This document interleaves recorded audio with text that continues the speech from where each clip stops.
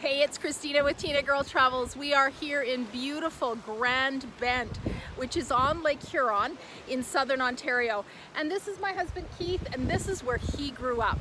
And it's a fantastic place. So we're gonna check out the beach first, and then I'm gonna take you into the town and show you all the little shops and things like that. There are lots of places where you can access the beach. Today we're heading to Grand Bend South Beach.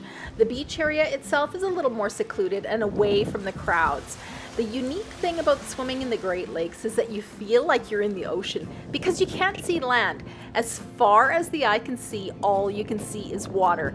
And the water is clear and not salty. And there are no sharks and no stingy things to step on. The water is warm and inviting, and at this part of the beach, you can walk quite a long ways in. Before we head over to check out the shops, the main beach, and the cabins, we're going to get some fish and chips at Purdy's at the Bend. This place came highly recommended by my sister-in-law, so we're going to check it out. There's plenty of parking here, and you just go around back to order your fish and chips.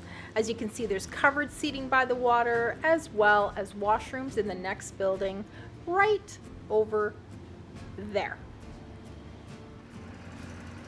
The fish and chips are delicious and the portions are huge. They're known for their perch and chips as well as their coconut shrimp, which we'll have to try next time. This is such a pretty place to hang out right by the channel overlooking all these beautiful homes.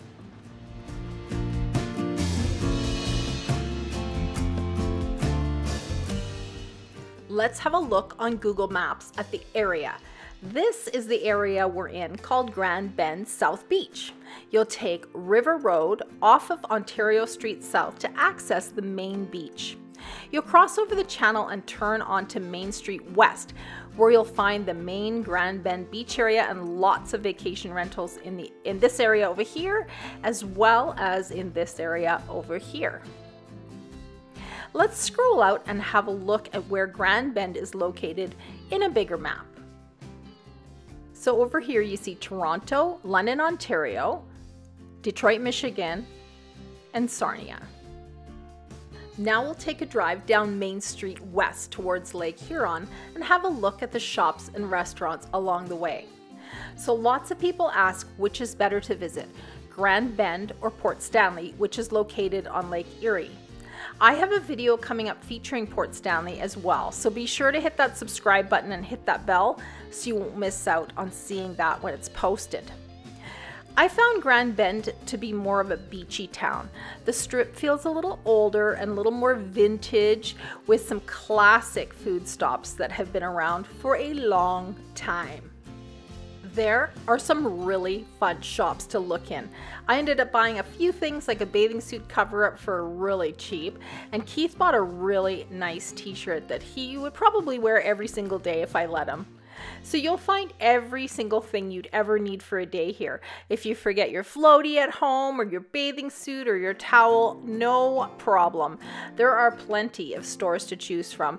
And when you get hungry, don't worry, Grand Bend has you covered. There are lots of one-of-a-kind restaurants, and of course, there's always a Dairy Queen. If you get bored, you can even go for a tattoo or a piercing to commemorate your visit. Coming up, that's Archie's, where Keith bought his t-shirt. They have all sorts of cool surfer-themed clothing and actually really good quality stuff. So as we get to the end of Main Street West, we'll be at the beach. There is paid parking here on both sides of the roundabout, as well as on the street. So if you're planning to stay for the day, one of the lots is probably a better choice. We're just going to turn around here in the roundabout and as we do you can see the concession there on the beach and the other parking lot coming up.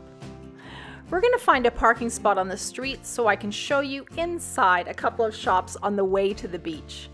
So street parking runs all the way along Main Street on both sides.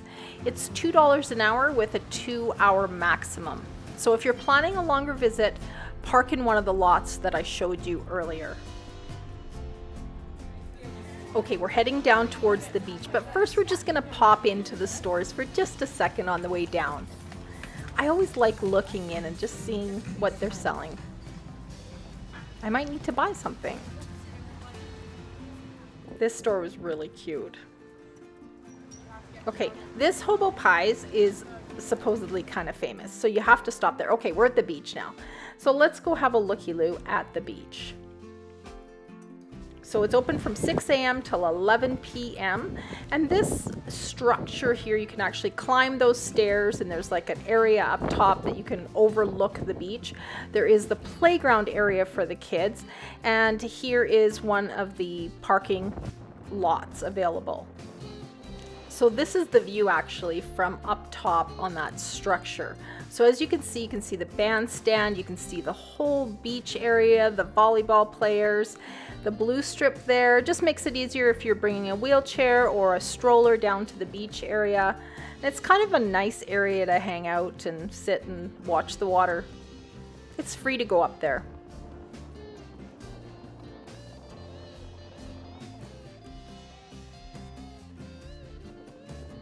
The beach is so beautiful and there are lifeguards available on the beach as you can see.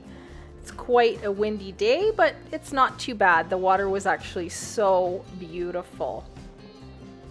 So you can bring your blanket and your lunch and whatever. People have their umbrellas or their little shade shelters there. And such a nice area. And we were there in the middle of summer, so not too bad. There's still lots of room on the beach. So earlier in the video when you saw us at the beach, we were straight through past that tree there in that direction beautiful playground. This is from a different angle. You can see all the fun toys that the kids can play with. You can see the parking and the roundabout. So there is a concession so you can buy pop and things like that from vending machines or you can head over to the concession. I actually found the concession to be very reasonable. $10.50 for a cheeseburger, fries, and a drink. $4.25 for a burger. Amazing. So they accept debit or cash. Here's a better look at that mat that they've laid down for you if you're bringing a stroller or a wheelchair or maybe one of those wagons that you load all your stuff in. And one last look at the beach before we head over and look at the vacation rentals renting a cabin in Grand Bend is a great way to vacation. In fact, it's something my husband grew up doing every summer as a kid. Being able to run out your front door and be at the beach in a few steps is just a dreamy vacation. And if you're able to bring your bikes, do it.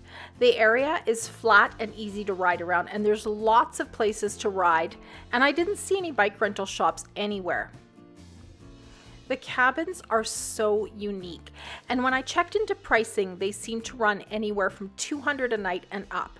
And that's not too bad, as I saw some houses that sleep up to 14 people. You can check out some rental sites like Airbnb or CanadaStays.com, and I found another one too called CottagesInCanada.com, and I'll list a few of them below in my description. So, not all of these cottages are vacation rentals, but many of them are. I hope you've enjoyed my video on Grand Bend, Ontario, Canada. Thank you so much for watching Tinagirl Travels. Please subscribe to my channel. Subscriptions are always free. It just ensures you're the first to know when I upload a new video. My next video will be on Port Stanley, Ontario, and I will see you there. Yeah, yeah, yeah,